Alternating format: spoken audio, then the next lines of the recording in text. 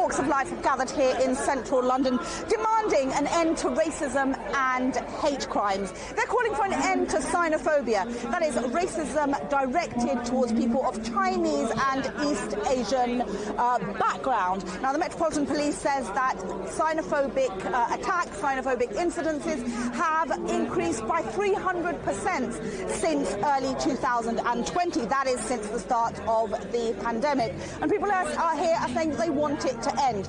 But it's not just Sinophobia, it's all forms of uh, racism. There are people here from Indian backgrounds, from African backgrounds, from European backgrounds, but the message is the same. They've had enough of racism and hate crimes uh, and violence that is related to racism. And really, it's a push for governments to take notice, to look at their policies, to change their policies so that it is fairer, so that minority groups are protected.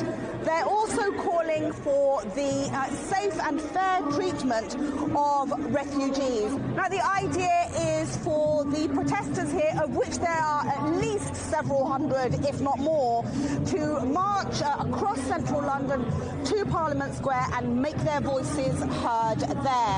But really, the underlying message is an attack on one community uh, is an attack on all communities. The idea is for solidarity against racism.